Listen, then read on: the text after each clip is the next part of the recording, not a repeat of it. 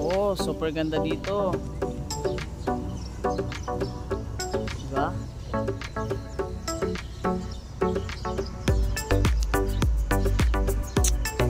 Okay, welcome to Ilocos.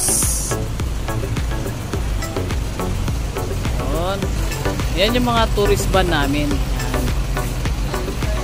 Kaibigan ko, yung kaibigan ko, walang ginawa kundi magreklamo. Oh, yan yung mga kasama kong mga guests. Joiners lang to, people. Di ganda rito? Oh. Ang sinasabi ko sa inyo. Paminsan-minsan, gagala din kayo. Papakilala ko sa inyo si Donya. Ayan, si Donya Liliones Skoda. Charis. Hindi pala. Diba ganda? Ano pa lang to? Kumbaga partial pa lang to. Ganito ang beauty ng Ilocos. Kasi marami ditong mga mga mga old house. O, di ba? Ang daming bisita. Dami yan. Kita nyo naman yan. Kaya kung kayo magta-travel kayo, mag-joiners kayo para marami kayong kasama. Ah, ito ang Paway Church sa Ilocos. Ah, dami talagang luma dito sa Ilocos. No?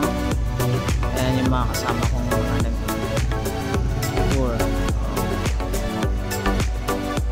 Ganda, di ba? Probinsyang probinsya rin eh, no? Diba? Ganda maganda rito.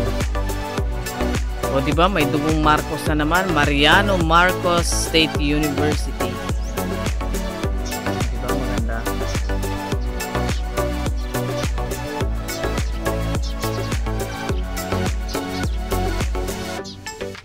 Kakaiba tong Paway Church na to. Oh. Ito pala yun. makalumang makaluma talaga. No? Ganda. Dito sa Ilocos kaya pumunta kasi marami talaga ditong mga luma. Yes welcome to Paway Church diba? Oh, ang ganda diba? Oh, sobrang ganda lumang luma no oh yan oh gilid Siguro yan yung ano, kampana. Siguro yan dyan yung kampana nilalagay, no?